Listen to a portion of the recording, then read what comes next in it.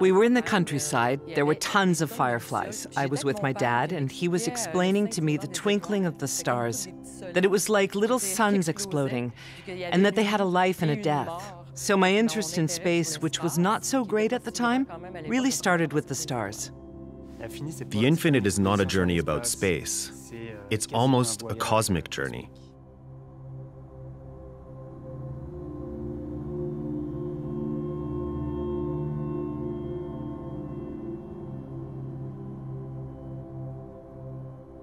This experience, in a way, takes the subject of space exploration, but integrates it uh, to a viewer's experience through culture, through art, through lyricism.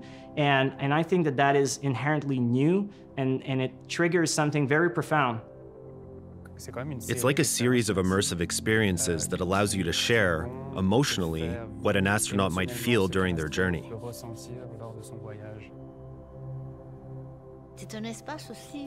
The design has been somewhat inspired by our love and our passions, from science fiction stories to movies and interstellar adventures.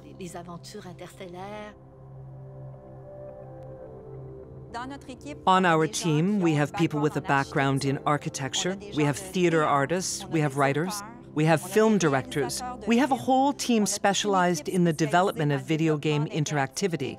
So we have chosen a team of people with a wide range of experience because what we're seeking is to create an experience that is as innovative as possible. What makes this project exceptional is, in a way, the scale of the project. Currently, we have a surface area of almost 12,000 square feet. We're reaching heights of 18 feet.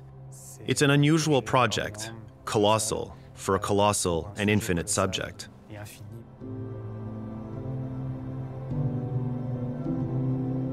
So when you enter the infinite, uh, the first thing that you will see is very beautiful scenography, something that gets you inside of an environment that is fascinating, that is welcoming, but that also gradually prepares you to go to space. but we have no artifacts.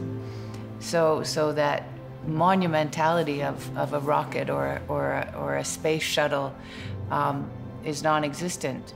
So we really wanted to dig into the poetry in relationship to the presentation of the content of Felix and Paul. And, and really, Felix and Paul, what they've achieved is, is giving us a sense of presence through the use of the, the uh, virtual reality uh, technology and, and the immersive quality of the work. What we've managed to accomplish is blurring the boundaries between the physical world and the virtual world. To be able to accommodate up to 150 visitors simultaneously in a virtual reality experience, this is something that hasn't been done before. It's brilliant because it's a collective experience where we see each other, we can wander around with others, but all of a sudden, we've transcended reality. And what is beautiful is that the spectator becomes a bit of an actor. They have to make choices and take initiative. They become part of the content. For me, this is how the infinite stands out from other immersive experiences. Well, we really wanted to look at the territories of, of some of the contemporary artists and architects that really think about the dynamics of the relationship between the human and, and space. The immersion doesn't just happen through image and sound, it unfolds across our senses. The smell subtly enhances our sensations, perhaps unnoticed by some visitors, but unconsciously they will have the sensation of being in a completely different universe.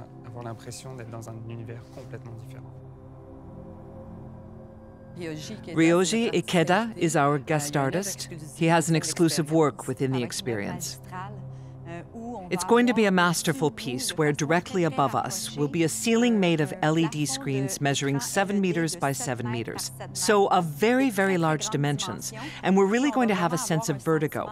Kind of like how you might imagine the first time the doors of the ISS open, and you have to dive in as if you were an astronaut.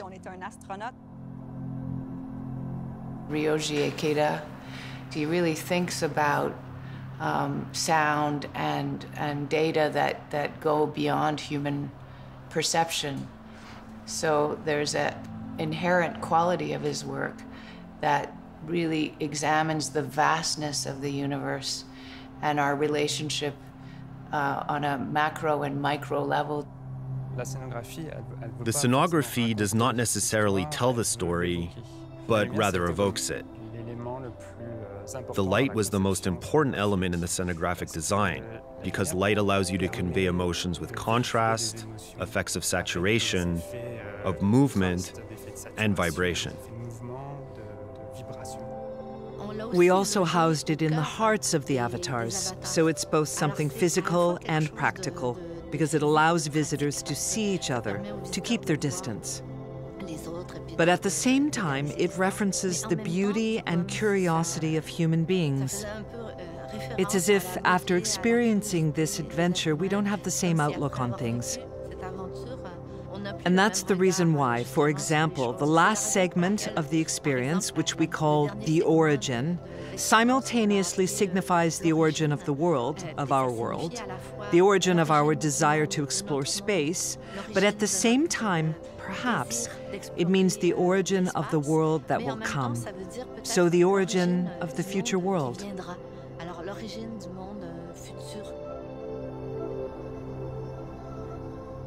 A project like The Infinite is meant to be exportable. We want to be able to take it from one city to another. We see that venues are seeking experiences that redefine the term immersive. That's really what we're looking to do. Experiences that are participatory for the visitor and that take us into a whole different reality. We want people to leave this experience filled with the emotional journey. But also, we want the spectators to leave thinking about our way of life on Earth and our possible future in space. notre avenir possible en fait euh, dans l'espace.